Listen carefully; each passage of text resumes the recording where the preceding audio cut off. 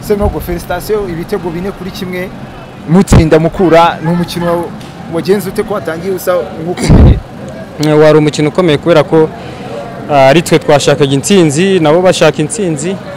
Ndatekereza niyo mpamvu igice cya mbere cyari gikomeye cyane. Urabona ko ba- bari bari ku mwanya mwiza twe dusa nkaho turi munsi yawo. Kandi urebye cyane nitwe twari dukeneye amanota atatu kubera ko n'ubundi turi ikipe nkuru twari dukeneye kuva kuri uriya mwanya. So niyo mpamvu igice cya mbere cyari gikomeye cyane.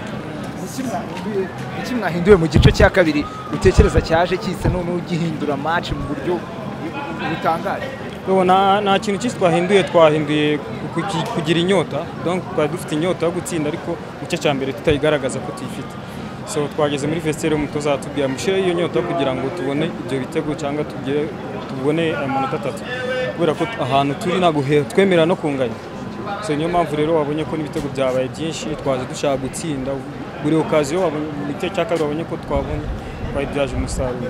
Niyo mpamvu wabonye ko byatworoheye mu gice cya kabiri. Ariko muri rusange wenda niyo mahirwe mbonye yo guhura na Serumogo muri Rayon Sport adaptation yawe. Imeze abantu batangiye kuvuga bati santere ntabwo zikiri nyinshi nka mbere.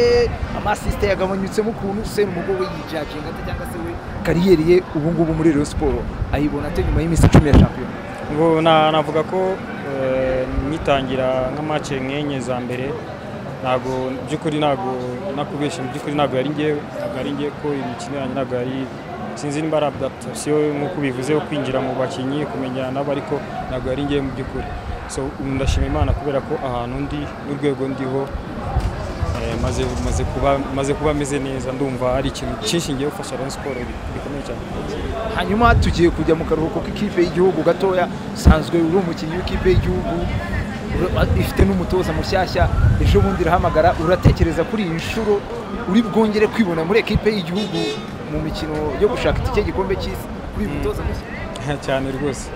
Nta kabuza ntabwo nakagombye kuburamo kubera ko eh, mfite byinshi nayifasha mfite byinshi nayifasha mm, ari na mugenzi wanjye uri hariya nawe afite byinshi yayifasha ariko ni byiza kuba igi- igihugu cyagira abantu babiri beza ku mwanya umwe ni byiza kubera ko nta nubwo ari na byiza kuba abantu babiri bakina ku mwanya umwe bakina muri ekipi imwe kuko nta kintu twaba dufasha iki gihugu. So niyo mpamvu rero umwe agomba gukina ahatandukanye n'undi kugira ngo niduhura dutange imbaraga ku gihugu. So ndumva ndizera ko byanze bikunze ngomba kuba ndimo kugira ngo mfashe igihugu.